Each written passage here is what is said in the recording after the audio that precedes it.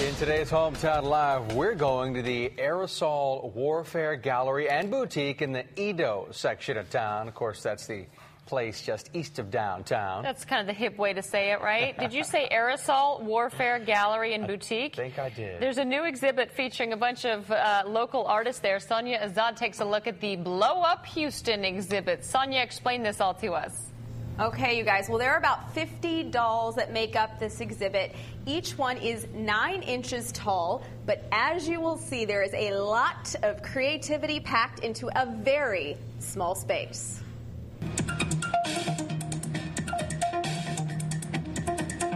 They look like an army of robots just out of uniform. They're called blow up dolls, but not the kind you probably remember from childhood. These have bomb shaped heads and pin grenade accessories. They're handcrafted by regular folks from all over Houston who stretched their minds to come up with fancy figurines.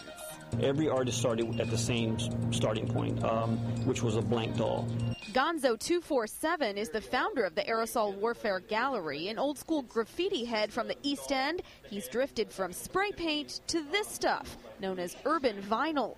After a while, someone figured out, you know what, um, if I can draw this flat, what if I made it three dimensional, created a toy, and gave it my own look and style, and, and it just took off from there. And it took off in several directions. This doll is a political statement about the upheaval in Iran. This one, a music box, and this one, made by an eight year old. Shrimp and algae live inside this one. My artist name is Good Happens. Chrissy Figueroa is an Eastside native and high school counselor. Her doll incorporates a new wave in arts called urban crafting, a hip twist to needlepoint, embroidery, and crochet. Crocheting the dress, her shoes are crocheted, and her hair and her little hat are crocheted as well. It took her 18 hours and about five bucks to create her doll named Rizzo. She kind of looks like a wholesome little schoolgirl, I think, in the middle of uh, a few renegades. and that's kind of how I guess I envision myself, so it works out well.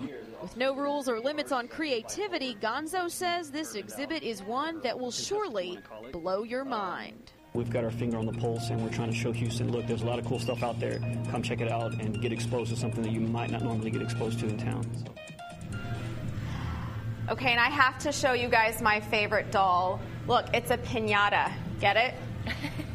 it's adorable. Now, guess what? These are all actually for sale. They are uh, they, they range in price. The most expensive one is $1,200, but you don't have to buy one to come and check it out. So this exhibit lasts through the end of the month. We'll have that information for you on our website. That's abc13.com.